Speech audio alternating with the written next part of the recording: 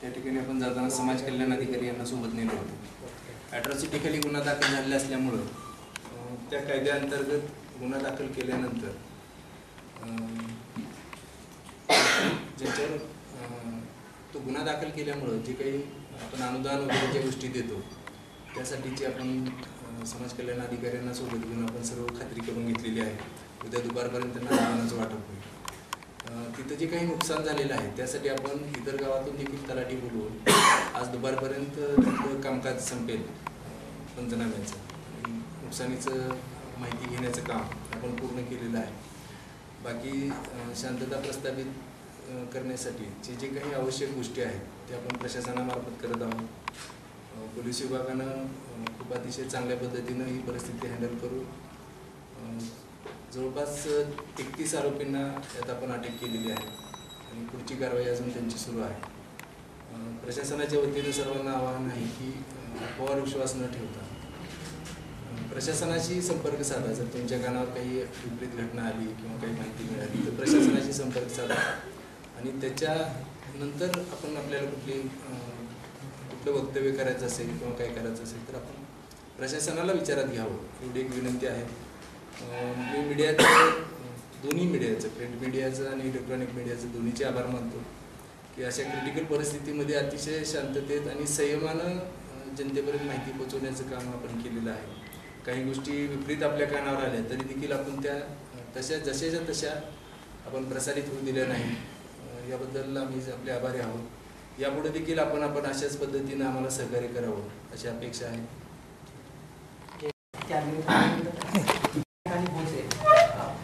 Already diploid diploid होते. त्यामुळे police वेळेवर पोहोचले असं आपण म्हणू शकत नाही.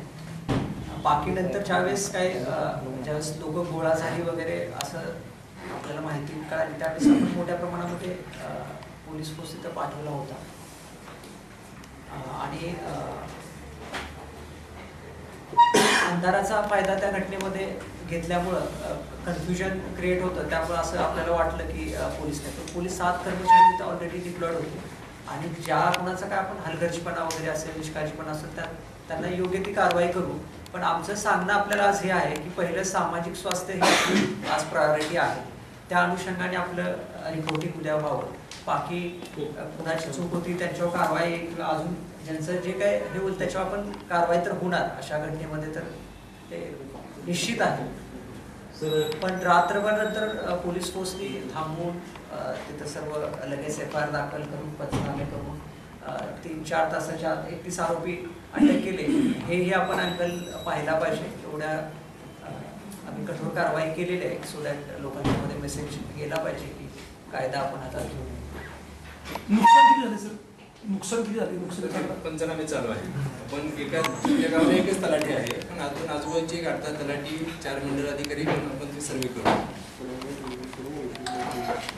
केलेलं आहे सर्वांना आवाहन केलेलं आहे. आणि जर आमच्याकडे तसे आम्ही सांगितलेले सरप्राईजमध्ये लोकांचे मोबाईल चेक करायला सांगितलेले आहे जेणेकरून असे अफवा पसरवणाऱ्या लोकांवर चेक बसेल. आणि आम्ही तसे गुन्हे दाखल करण्याचे आदेश दिलेले आहेत. तर सुरुवातीपासून कोणते दगडफेक काही समजतंय? तेच मी पुन्हा एकदा सांगतो की अफवा भरपूर आहे. हा त्यामुळं अफवावरती विश्वास ठेवू नये आज कुठेही दगडफेक झालेली नाही किंवा कुठेही कोणताही आज अनुचित प्रकार जिल्ह्यामध्ये घडलेला नाही किंवा आम्हाला रिपोर्ट झालेला नाही. त्यामुळं जे वेगवेगळ्या माध्यमातून अफवा ज्या येत आहेत तेच तर आपलं सर्वांचं आपणही चौथा अखिलर आहात शासनाचा. त्यामुळं आपणही त्याच मॅच्युरिटीने ह्या गोष्टींचं खंडन करून हे करू कारण कुठं जर घटना झाली तर निश्चित ते आपल्यापर्यंत येतात आणि आपण ही कारवाई करतोय असं काही त्याचं रिपोर्टिंग होत नाही वगैरे असं काही नाही. सकाळी काही स्टँड बस स्टँडवर लोक हा, असं हे केलं. आपण त्यांना कन्व्हिन्स केलं आणि त्यांनी आपल्याला ॲग्री केलं. त्यामुळे आपलं संवाद प्लस ऍक्शन हे दोन्ही फ्रंटवर आपलं काम सुरू आहे. आता हे आरोपी आरोपी पकडले यांचं वय किती आहे सर? आणि साधारणपणे वीस ते पंचवीस वयोगटातलेच आहेत. कुठल्या संघटनेशी अल्कोहोल काय एक आहे. एक. कुठल्या संघटनेशी रिलेटेड वगैरे अजून तपासामध्ये आपण हे चालू आहे. हे करायचं. काय त्यांचे मृत WhatsApp. विवाहितेच्या पतीचा आरोप केला होता काय का म्हणाला? मृत जी विवाहिता हिचा खून झाला. हा. तिने असा आरोप केला की एका पोलीस कर्मचाऱ्यानं आरोपीकडून पैसे घेतले. मी स्वतः बघितलं ते. आणि आरोपीला सहकार्य करण्याची त्या पोलीस कर्मचाऱ्याची तशी काय तक्रार असेल तर आपण चौकशी करू. असं पण ह्या गुन्ह्यामध्ये स्वतः P I S D P O स्वतः त्यामध्ये हे करत होते. त्यामुळे मला वाटत नाही की एखादा. Arrest अरेस्ट वगैरे केलेलं आहे. आणि एखादा कर्मचारी असं काय करू? कारण जसं तिकडून आला होता. त्यामुळे इथला कर्मचारी काय करू? हे करणार नाही असं नाही. तीनशे दोनचा गुन्हा ऑलरेडी दाखल झाला होता. आणि त्यामध्ये काय असं तीनशे दोनचा गुन्ह्यात कर्मचारी फार काय करू शकत नाही अधिकाऱ्यांच्याकडेच तपास असतो. त्यामुळे आणि स्वतः P I S D P ओनीच दखल घेऊन हे केलं होतं. बैठक घेतली होती लोकांची नातेवाईकाची. त्यामुळे तसं जर त्यांची काय तक्रार असते तर आमच्याकडे निश्चित आली असते. अशा पद्धतीने लोकांच्या घरात जाऊन उद्रेक करणं गाड्या जाणं ही वीस पंचवीस वर्षाच्या मुलांमध्ये the brain behind this persons त्याच्यामागे शोध घेतला जाईल का तर प्रशासनाने निश्चित आपण हे जे तरुणांच्या मध्ये थोडंसं अग्रेसिव्ह बिहेवियर आहे. त्याचा आम्ही शोध घ्यायचं चालू आहे. आमची चर्चा सर्व समाजातील सर्व सेक्शनशी चालू आहे की जेणेकरून आम्हालाही अं, मुळापर्यंत पोहोचता येईल.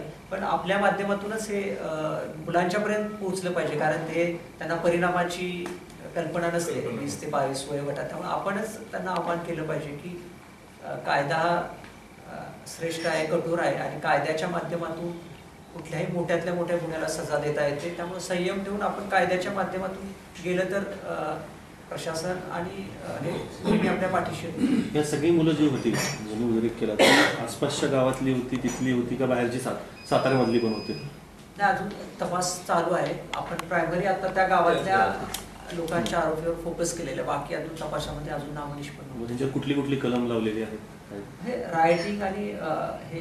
प्रॉपर्टीचं नुकसान करणं आणि अॅट्रॉसिटी अॅट्रॉसिटी तर कंपल्सरी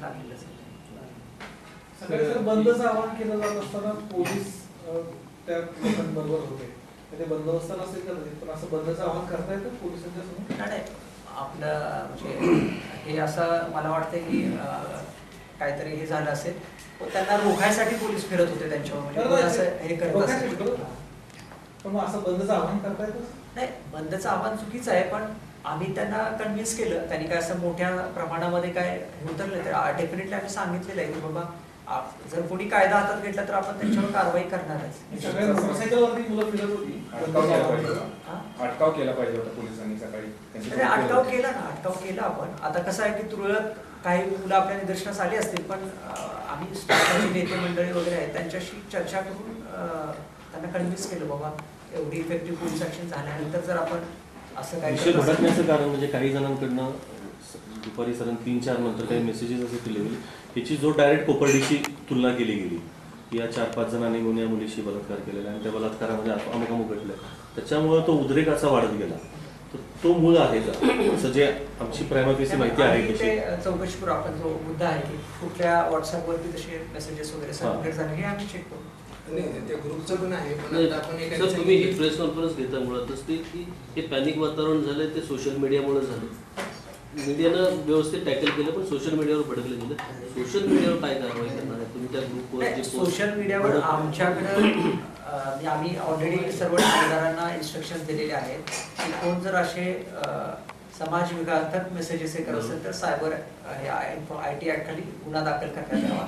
आणि चौका चौकामध्ये त्यांचे मोबाईलही सरप्राईजली चेक करण्यात यावे. सो दॅट मुलं असले काय करणार नाहीत. हे आम्ही इन्स्ट्रक्शन दिलेले आहेत. सायबरमधून एखादा गुन्हा दाखल झाला का अजूनपर्यंत आज नाही केलेला पण निश्चित आमच्याकडे जर अशी हे आलं तर आपण निश्चित दाखल करू. आमच्याकडे इलेक्ट्रॉनिक मीडिया मीडियाकडे काल अडीच वाजल्यापासून सगळे बाईट्स त्या तिची मुलगी आहे तिचे मिस्टर वडील हे सगळे आमच्या ऑफिसमध्ये येऊन बाईट्स वगैरे सगळं देऊन गेले तरी आम्ही कुठं पब्लिश केलं नाही ते. नाही नाही त्यासाठी कुठेही पब्लिश केलं नाही. म्हणजे आता ते सोशल मीडियाच आजचा जर आजची वर्तमानपत्र समिती आणि त्याचे त्या संदर्भामध्ये झालेले या सगळ्या प्रक्रियेमध्ये सातारच्या मीडियानं अतिशय चांगलं काम केलं. प्रशासनाच्या आणि कायद्याच्या बाजूनच काम केलं. आहे त्यामुळं त्या मीडियाच्या संदर्भामध्ये तुम्ही निर्धास्त आणि अजूनही जरी सोशल मीडिया जरी ऍक्टिव्ह असेल तर लोक प्रिंट मीडियावरती अजूनही 100% सर्वात विश्वास ठेवतात. विश्वास ठेवतात आणि इलेक्ट्रॉनिक मीडियावर रादर दॅन व्हॉट्सअप मेसेजेसवरती त्यामुळे ते एक हे आहे अं, जमेची बाजू आहे. त्यामुळे आपलं सर्वांचं सहकार्य पण